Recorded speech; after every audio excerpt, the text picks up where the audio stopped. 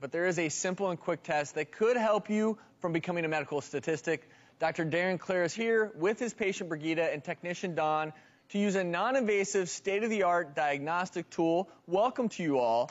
Thank you.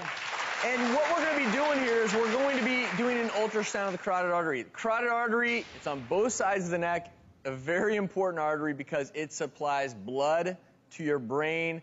What we're going to talk about is ultrasound because ultrasounds of the carotid artery can measure intima media thickness as well as look for plaque. Those can, believe it or not, be an early sign of atherosclerosis, which is hardening of your arteries, which, believe it or not, if you see it up here in your neck and your carotid arteries, it can also exist in the arteries that supply your heart muscle, putting you at risk for heart disease. But Dr. Clare, ultrasound's been around for a long time, so what's unique about this technology? This test, which is the HeartSmart IMT Plus, uh, with the Devo technology in it, just by doing this test in my office, which is safe, quick, uh, you know, totally painless, I can know with a 95% certainty if you have any plaque building up in your heart what type it is, and how severe it is. So, Don, why don't you start imaging Brigitte's carotid artery, and we'll look at some images. And so you're going to hear the phrase IMT, that's intima media thickness. That's basically the thickness of the arterial wall.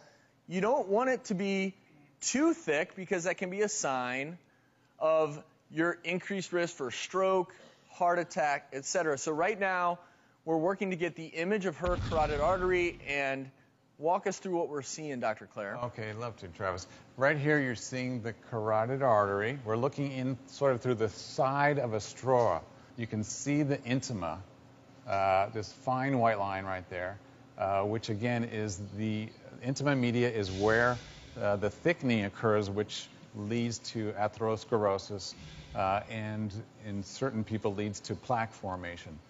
And the intima media are, are literally that's what makes up your arterial wall. Now, we have some images of good arteries versus unhealthy arteries. Show us what we're looking at. Okay, great. This right here is a, a healthy artery. The intima media is right here. It's this fine, inner fine white line. That's what we're measuring. That's where the correlation is. You can see this is a little thick, but very significantly, where the red circle is, uh, this person not only has thickening, they also have a big nasty plaque sticking into the lumen of the artery. And so what people are looking at there is plaque in the carotid artery, which if it breaks off, it can actually go up to your brain and cause a stroke there as well. So that's right. One of the things that you've done is you've taken images from Brigitte and you've actually mapped them out to give a letter grade. A is good, E is bad, and if you're in, in between there, you have to have some concern. Walk us through this chart. Okay, yeah. The way I like to look, think about it is just like your report card from school, okay? A is, is great. E, I say, go to the emergency room, okay? And Brigitte's was normal, right? Uh, Brigitte's is totally normal. And secondly, we measured the plaque character. Yeah, because there's not only, there's different types of plaque. There's the soft plaque and the hard plaque.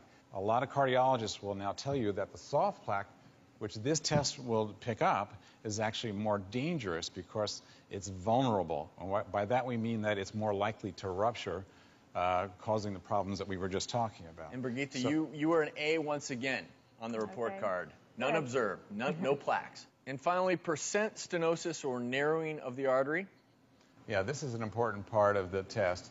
And we can then realize that this person is at an early stage of heart disease, and we can then put them on a program to help reverse it and push them back towards A.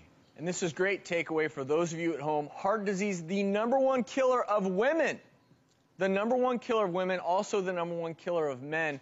And the reason that you do studies like this, if you are at risk, you need to talk with your doctor about getting studies done to figure out how bad your heart disease may be because believe it or not, you can reverse it with things like your diet. These are great foods, increasing your activity level, simple changes, lowering your blood pressure. These can all help you live a longer, happier, healthier life and reverse the damage of heart disease.